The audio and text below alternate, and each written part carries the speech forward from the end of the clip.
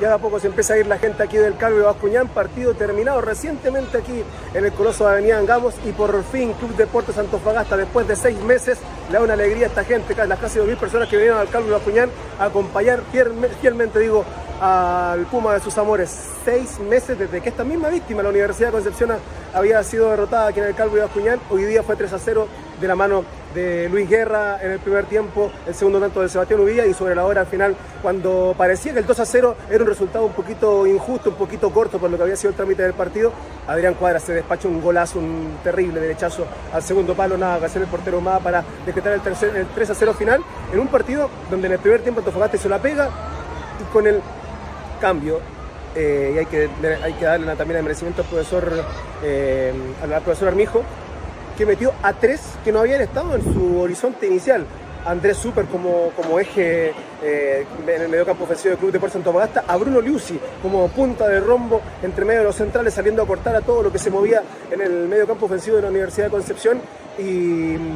también con Adrián Cuadra, que el día de hoy, si bien había jugado un par, o el, partido, partido anterior ante el elenco de, de Rangers, el partido de hoy lo jugó de manera perfecta el Caruchita, el hombre formado en Santiago Wanderers. Con ese mediocampo Antofagasta eh, le ganó ese, sistema posicional a la Universidad de Concepción, se adueñó del esférico y la, la Universidad de Concepción nunca fue eh, rival, entre comillas, no, no, no, tuvo que pasar sus obras el portero Cisternas, que volvió a jugar con los guantes titulares del Club de Deportes Antofagasta, y también merced de la gran actuación del Chapadías, y también a destacar, también figura para la transmisión televisiva, el Nico Berardo, que entre los dos anularon a, Sánchez Sotelo, goleador del año pasado de la, de la B junto a Tucu Contreras, y al buen jugador Matías Donoso, es decir, dos jugadores portentosos de nueve de área que traían el elenco del campanil y que fueron totalmente anulados. Muy, muy bien la dupla de centrales el día de hoy para que no sufriera el portero Cisternas. Que ojo, el portero Cisternas a mí me encanta, lo deja hincha Antofagasta, Antofagastino joven, hace rato que no debutaban Antofagastino bajo los tres tubos de Antofagasta, pero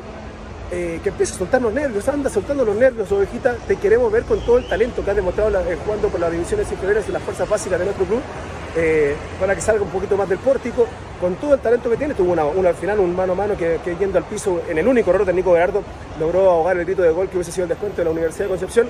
eh, agarrando confianza sin duda que se va a comer eh, el arco del Club Deportes Antofagasta en Ovejas Cisternas.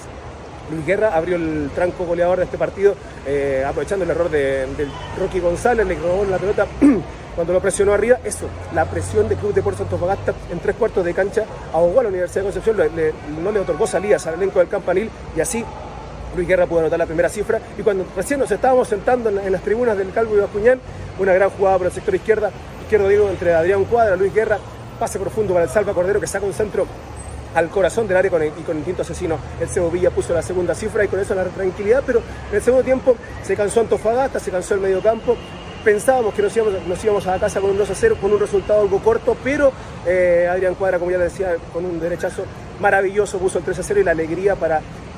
la hinchada del Club de Santos Antofagasta. Un triunfo que le da eh, respiro a John Armijo, que después de 11 partidos pudo ganar bajo el mando técnico del Club de Santos Antofagasta. Vaya que no se, hubiese servido un triunfo al final del año pasado, pero eh, por lo menos le da un tiempo de, respiro bajo el mando técnico del elenco de nuestros amores, del, elenco del Club de Santos Antofagasta, que la próxima semana tiene que ir a visitar a San Marcos de Arica ya tiene que empezar a revisar cuáles son los jugadores que van a empezar a, que van a, llevar el ritmo del campeonato. Tenemos un plantel un poquito más eh, fibroso, más, contundente que el año pasado y por ahí Antofagasta tiene que ya encontrar su once titular. Me parece que el, medio campo del día de hoy es, es decidor, es clave y el factor Andrés Super fue fundamental para que Antofagasta fuese ganador, triunfador y goleador el día de hoy aquí en el Calvo, en el Calvo de donde 1850 personas vinieron a apoyar a nuestro club de siempre aquí en el Calvo de Triunfo que lo, eh, lo, analizamos aquí a través de el.cl. La próxima semana vamos a estar, por supuesto, analizando lo que pase entre Deportes Antofagasta y San Marcos de Aricas aquí a través del medio, digital número uno de la Perla de Norte. Un abrazo, que esté muy bien, chao, chao.